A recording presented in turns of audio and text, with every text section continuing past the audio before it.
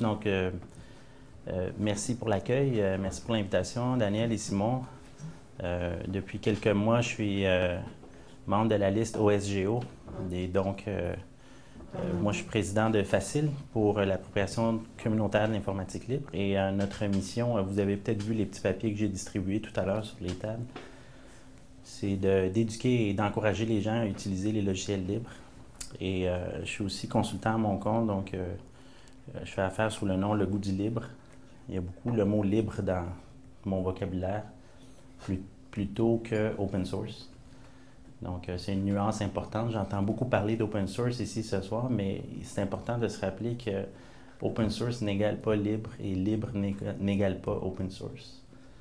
Donc, euh, ça porte souvent à confusion et ce qu'il faut retenir en gros, c'est qu'un logiciel peut très bien être open source sans être libre. D'ailleurs, Microsoft en fait une spécialité de dire euh, d'utiliser ce terme-là pour confondre un petit peu les gens. Euh, mon client est le, Bitcoin Embassy, donc euh, c'est un petit peu mon milieu aussi, toutes les technologies qui poussent vers l'autonomie, les trucs alternatifs. Donc, si ça vous intéresse, vous pouvez, on peut en parler tout à l'heure. Puis, je voulais vous montrer, euh, en fait, on, a parlé un petit peu avec Guillaume, de comment on ferait pour euh, passer en mode, euh, disons, un peu brutal. Donc, comment on, parlerait d'OpenStreetMap d'une manière un petit peu différente que d'habitude? Donc, on a une approche un petit peu plus technique. Puis, est-ce que c'est bien écrit? J'avais pas avoir un strap. Donc, je vous montre ma page wiki sur le projet OpenStreetMap. Puis, euh, c'est quelque chose que je vous encourage à faire. D'ailleurs, pendant que les présentateurs parlaient, j'étais agréablement, surpris de voir que euh, Simon et Daniel ont des pages sur le wiki du projet, je crois, euh, soit MapGIS ou OSGO. Et donc, ça fait partie de comment je travaille aussi, de partager tout ce que je fais à un niveau de détail parfois ridicule. Et donc, en gros, ma page sur le projet OpenStreetMap, c'est un peu ce qui me représente moi comme contributeur. Puis ce qu'on voulait vous montrer ce soir, on voulait commencer par un exemple de, participation citoyenne donc au projet. On a entendu parler tout à l'heure de comment c'est important euh, que les outils donc euh, soient disponibles au, commun des mortels, comme on dit. Puis Guillaume et moi, on a appris qu'on est néo-géographe. Donc euh, c'est cool, on peut utiliser un nom un peu plus sophistiqué pour ce qu'on fait. Euh. Donc, euh, j'ai choisi sur la carte mon quartier. Donc, moi, j'habite à Outremont, à Montréal. On va grossir ça un petit peu ici. Et euh, dans Outremont, ma spécialité, donc, c'est les parcs. Moi, je suis père de quatre enfants. Et donc, je trouvais ça important de montrer à mes enfants un petit peu l'utilité de l'implication citoyenne. Puis, ce que vous voyez ici, c'est le parc Joyce. C'est un parc pour lequel le rendu fait pas justice au travail de collecte de données que ma fille, avec ses amis, lors de sa fête de 7 ans, ont fait. Et euh, ce qu'on voit quand même assez. Euh, bon.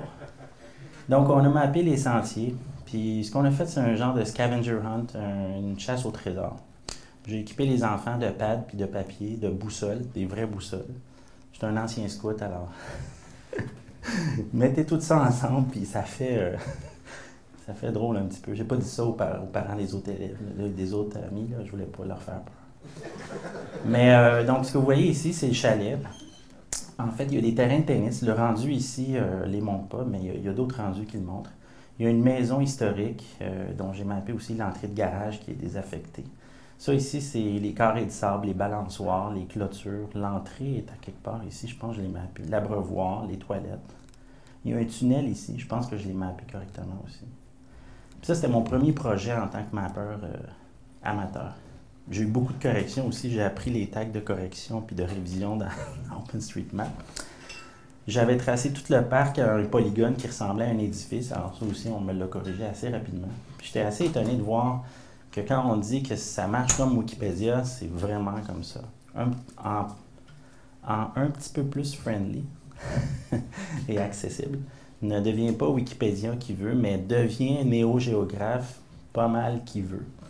Et donc, la job de Guillaume, comme vous allez voir, sa mission, euh, moi, je, le salue. Moi, je pensais que j'étais bon pour euh, engager les gens là-dedans, euh, embarquer les gens là-dedans, mais lui, il est vraiment exceptionnel. Et donc, mon niveau technique se limite à ça. Puis, en logiciel libre, mon travail consiste aussi à dire aux gens, voici ce que je fais dans le but qu'on ne se marche pas dessus les uns les autres, ou qu'on collabore, ou qu'on trouve des points d'intersection. Donc, en gros, capable de faire ça. Il me reste 30 secondes. Ah, j'ai dépassé 30 secondes. Donc, en gros, euh, je dis aux gens, voici où trouver mes traces, mon journal de bord, puis voici les tags que j'utilise le plus.